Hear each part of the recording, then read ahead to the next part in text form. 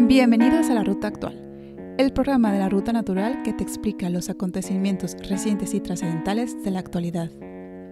Lo mires por donde lo mires. Presentado y producido por Raúl Sadaba.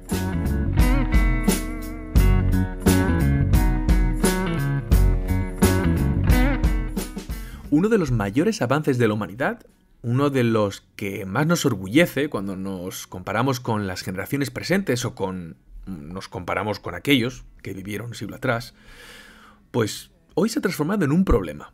Tenemos la suerte de que disfrutamos cada vez de una vida más longeva. Y bueno, esa no es la gran virtud. Vivir más, de por sí, no está nada mal. Lo maravilloso, lo casi mágico, que ha conseguido la medicina a través de la ciencia es que vivimos más años con mejor salud. Hoy la gente vive los 70, y los 80 con total plenitud. Y muchos llegan a los 90 incluso. Sin embargo, a pesar de vivir más años y con menos problemas de salud, nos jubilamos casi casi a la misma edad. La jubilación nace en el Imperio Alemán. Es ahí cuando el canciller alemán, Otto von Bismarck, le pide a sus ministros, allí en 1889, que trabajaran en una definición, una definición de, de una jubilación nació lo que sería el concepto que tenemos hoy, actualmente, de la jubilación. Su objetivo era doble. Uno, prometer, pero no gastar. Al menos demasiado. Otto von Bismarck creó la idea para evitar las protestas o, bueno, la revolución de los jóvenes alemanes marxistas que estaban desempleados. Fue una solución marxista dentro de un ambiente de capitalismo exacerbado y cruel, como era la industria a finales, la industria obrera a finales del siglo XIX. Al parecer le debió, le debió preguntar a uno de sus ministros cuál era la edad ideal para ofrecer una jubilación.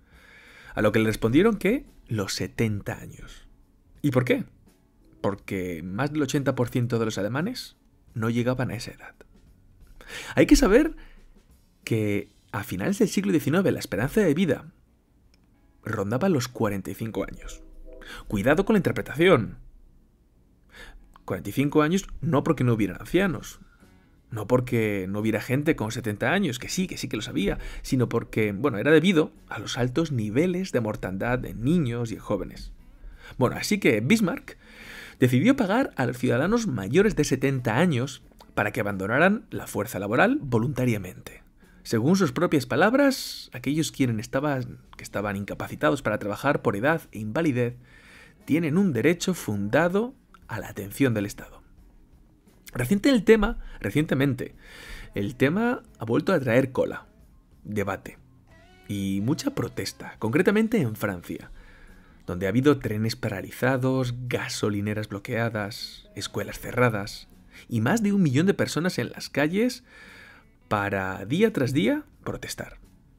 La razón es la reforma de la jubilación de Macron, un proyecto que pasa la edad legal para comenzar la jubilación de los 62 a los 64 años, y que ha encontrado una oposición masiva y contestataria en el hexágono.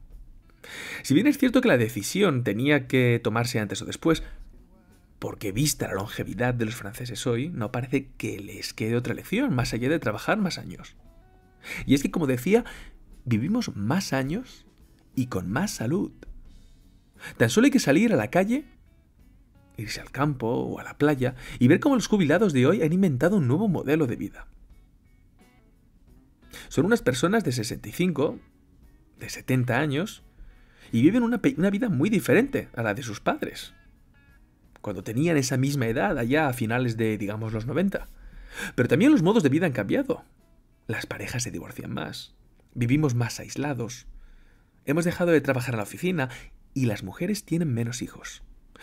Todos estos cambios están empujando a las personas mayores a repensar su forma de afrontar la vejez. Sobre todo porque hoy ya es evidente que cuando dejan de trabajar, están de manera general significativamente en mejor forma que los jubilados de generaciones anteriores.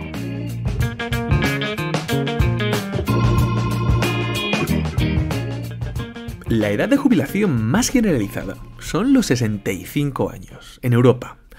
Al menos es lo que más creemos que corresponde con la realidad.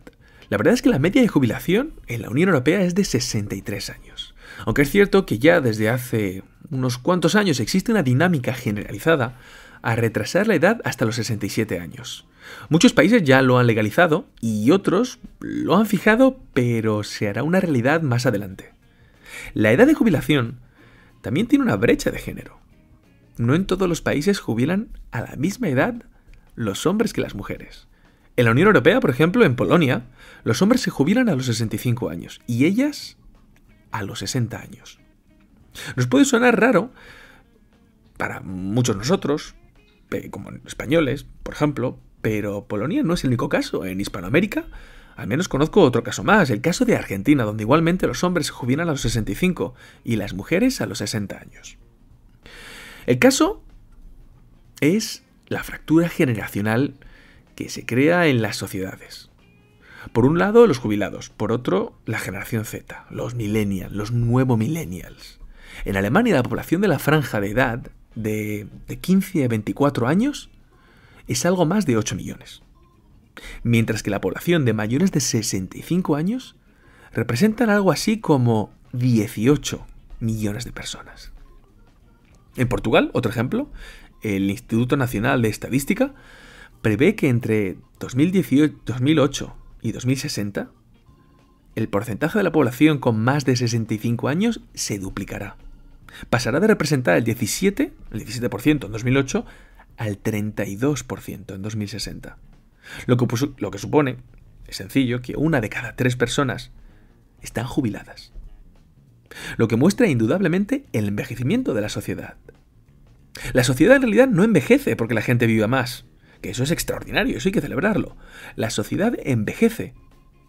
¿Por qué no nacen más bebés? Con todo esto, lo que desde luego ha cambiado es la percepción general del jubilado. Si antes era un era retratado, me acuerdo en los tebeos, por ejemplo, de Francisco Ibáñez, cuando le, yo recuerdo los Mortadelo y Filemón, donde el jubilado pues era un viejito, viejito con boina, doblado por el peso de los años, con un bastón, pocos dientes y con muy mala leche. Pues hoy no. Hoy el jubilado está posiblemente en su mejor momento, con una perspectiva de vida llena de, de salud, viajes, deporte, de disfrute, de, de, gozo. Debemos luchar contra la idea, quizás algo arraigada en Occidente, de que una vez que, que pasamos cierta edad, ya se acabó. A esperar, ya solo queda esperar ver cómo terminan los días. Existe una discriminación, existe una palabra, existe una definición basada en la edad, denominada edadismo. ¿Has dicho enanismo? No, he dicho edadismo, de edad, discriminación por la edad. Aunque creo que cada vez menos. Cada nueva generación trae, trae consigo nuevos, nuevos metrosexuales. Mira, hace tiempo que no escuchaba yo, que no pronunciaba esta palabra, que se puso de moda hace 15 o 20 años. Bueno, y, y los metrosexuales de hoy son gente en forma y muchos de ellos con canas. Gente liberada, gente jubilada. Gente de 60 años, 65 años, liberada de muchas de sus preocupaciones, pero sin tener 15 años. De hecho, en inglés se ha creado por una pausa. En inglés que es un idioma bien curioso. Es fascinante. El 30% de sus palabras vienen directamente del francés. El otro 30% vienen del latín. Y luego hay un gran puñado, nada despreciable, que son todo onomatopeyas, y otro gran puñado son contracciones. Y como decía, aquí viene una de esas contracciones. Recientemente se ha puesto de moda una contracción en inglés entre la palabra quinceañero, que es teenager, y persona mayor, que es senior, para dar finalmente un resultado con la palabra seenager. Bueno, pues se refiere a eso mismo, a ese nuevo grupo de personas, de jubilados de más de 65 años, que viven como quinceañeros disfrutando la vida como adolescentes. Y es que la edad media de los yayos, de los abuelos, ha variado significativamente. Claro, esto depende de la región que miremos, el, país al que echemos un vistazo a las estadísticas, nos encontramos con casos extremos. En Uganda, los abuelos tienen de media 53 años. Y en Japón, pues acaban, acaban ya recientemente de cumplir 72 años. Obviamente son dos maneras completamente diferentes de afrontar la vida, con un nieto, con 53 y con 72 años.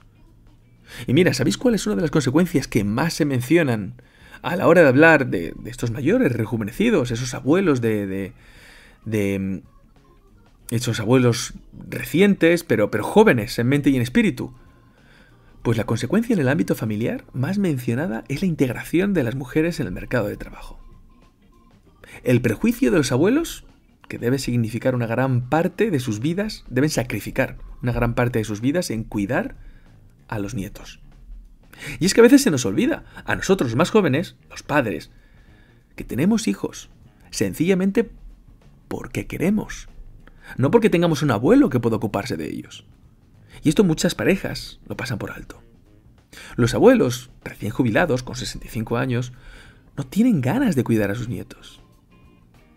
Desde luego que hay de todo. Algunos serán deportistas y otros serán sedentarios. Algunos abuelos harán compras por internet y otros no saben aún uh, copiar y pegar un texto con el ratón o con el teclado. Algunos van pagando con el móvil en el supermercado y otros, pues lo sabrá, que pasan su tiempo libre a visitar un cajero para obtener el último extracto de la cartilla de ahorros. Pero mi mensaje es que la dinámica habitual que nos formamos, trabajamos y nos jubilamos está cambiando. La formación es continua y la jubilación es otra etapa intermedia antes de la última, el último paso, la última etapa de la decaída en salud. Tras la jubilación, seguimos siendo productivos. No es un periodo de reposo, sino más bien periodo en el que se puede contribuir plenamente en la sociedad. De hecho, participar y socializar hasta, es hasta, hasta bueno y necesario. Es la herramienta fundamental para evitar la pandemia que ataca a un gran número de jubilados. Se trata del aislamiento y la depresión, la soledad.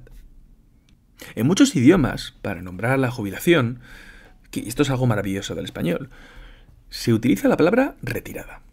Retirarse. En español, les sorprende a los extranjeros que digamos jubilación, porque les suena como jubileo, como algo maravilloso, una celebración, una fiesta. Retirada es una palabra que no me gusta mucho. Mis padres están jubilados, están retirados, pero yo nunca los he visto tan activos. Y vi una gran cantidad de jubilados, de retirados, disponibles, gente que no está retirada, está disponible para echar una mano al prójimo, involucrarse en asociaciones, hacerse nuevas preguntas, descubrir y escuchar el mundo que le rodea o incluso hacer nuevas amistades. La gente no se retira del mundo, simplemente se liberan de la necesidad de trabajar. Tienen este privilegio que tan solo los ricos alguna vez tuvieron. Muchos de ellos ya han cambiado el chip mental desde el punto de vista económico. Saben que solo se vive una vez y que su misión en la vida no es no es dejar el camino hecho y perfectamente trazado y resuelto a sus hijos. Ellos ya tendrán que buscarse la vida para enfrentarse a los problemas, ahorrar para comprarse una casa si quieren, o casarse, cumplir sus sueños y cuidar a sus propios hijos. Este grupo ahora está de moda, los jubilados de la generación que se llama Sky. Sky del inglés, que viene a ser como el cielo, pero bueno, lo llaman SK y latina, SKI. Del inglés vendría a ser algo así como Spending Your Kids Inheritance. Es decir, esta generación de jubilados que se les llama los Skies. Gastar la herencia de tus hijos. Son jubilados conscientes de tener la vida por delante. Y el dinero para ellos mismos, su propio dinero. Y es, y bueno, y sobre todo conscientes de que desean seguir aprendiendo, eso siempre. La curiosidad no es un mal defecto, es una receta para prolongar la existencia.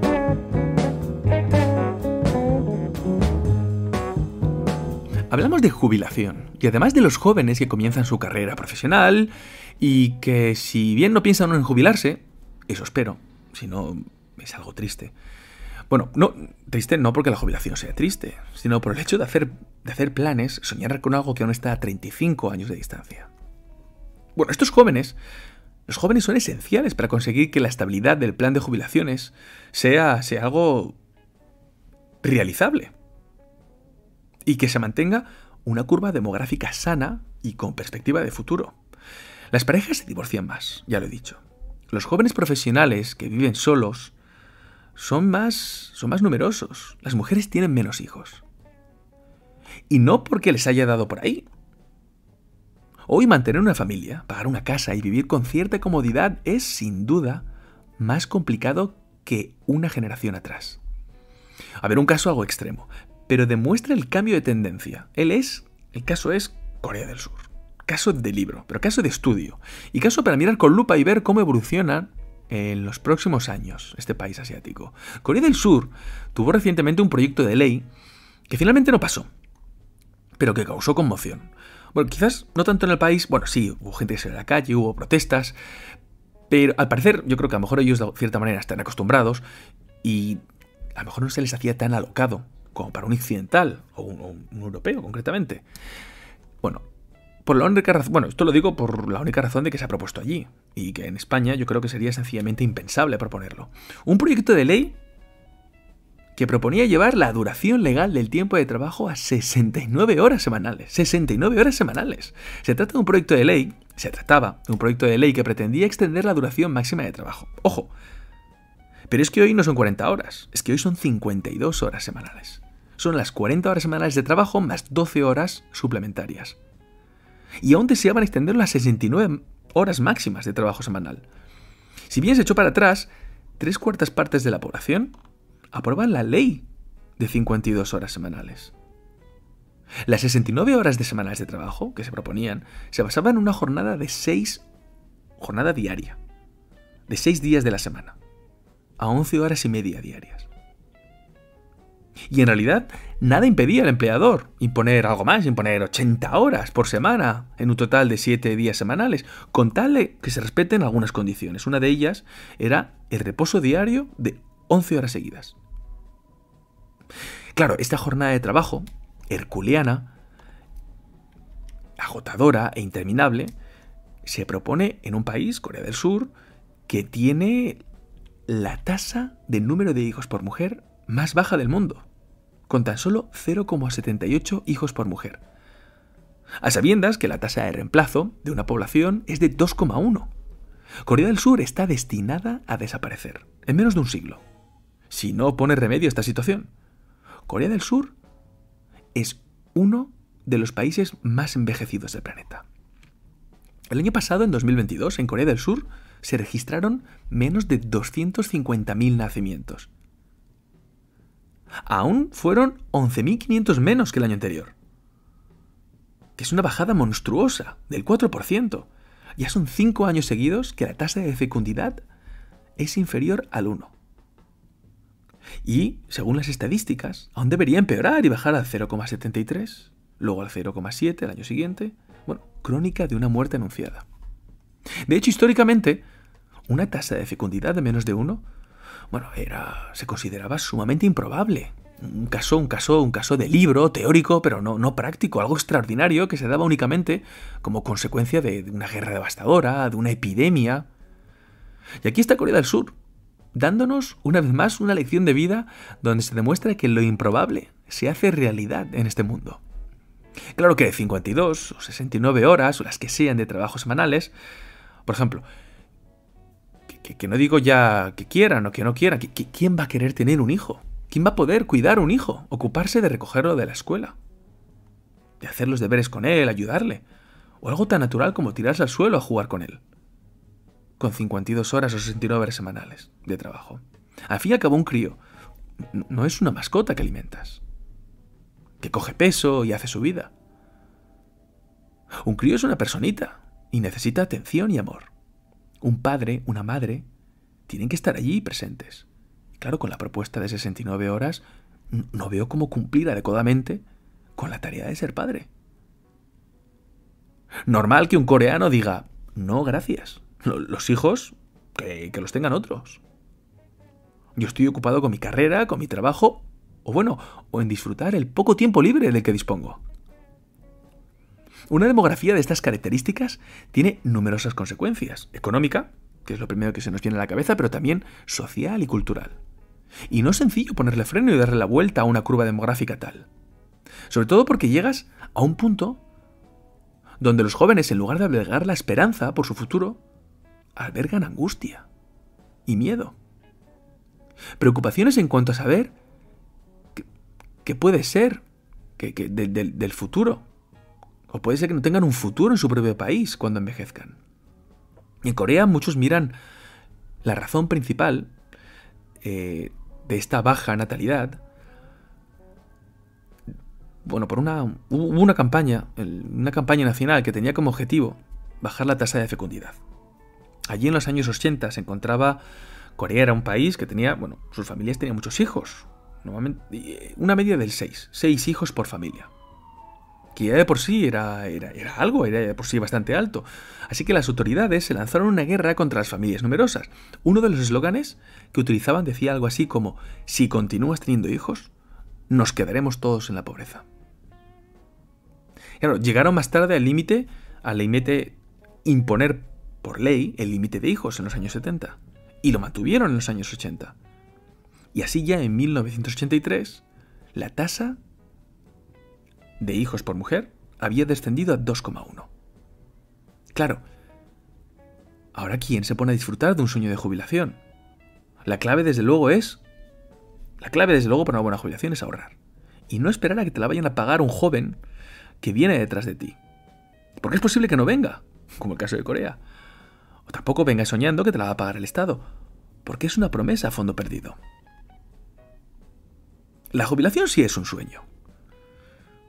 Es una infancia. Pero con la ventaja de tener una independencia, una independencia financiera y, bueno, sin padres que te digan qué tienes que hacer. Para muchos es el apogeo de su vida profesional.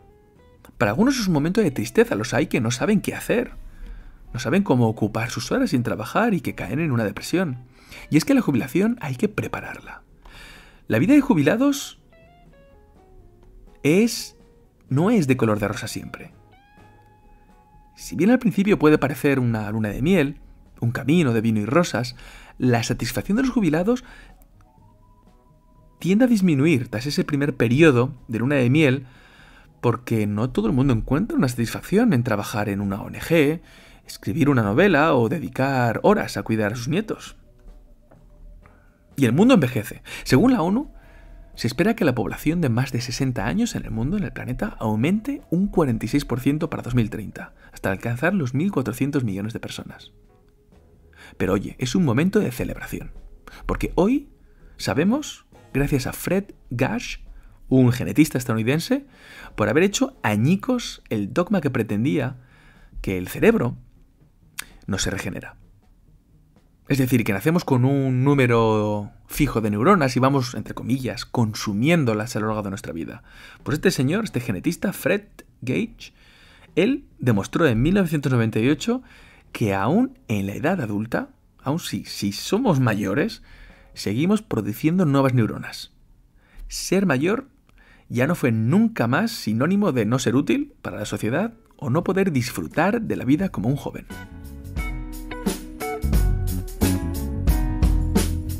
Una vez más, esto ha sido todo por el momento. Espero, queridos escuchas, que hayáis disfrutado de este nuevo episodio de La Ruta Actual, un programa de la Ruta Natural.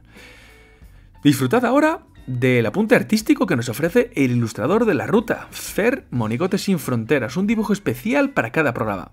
Lo podéis encontrar a través de mi página web de Linktree, en el vídeo de YouTube, en mi Instagram, arroba larutanatural.podcast y en la sección de comunidad de iVoox. Por cierto, Hoy, 30 de abril, cumplimos tres años desde la primera publicación del primer episodio de La Ruta Natural. Así que, como siempre, si os ha gustado y os gusta este programa, podéis invitarme a un café a través de mi cuenta de coffee.com o haceros mecenas en patreon.com. Nos vemos próximamente y sin demora en nuestra próxima cita. Hasta pronto.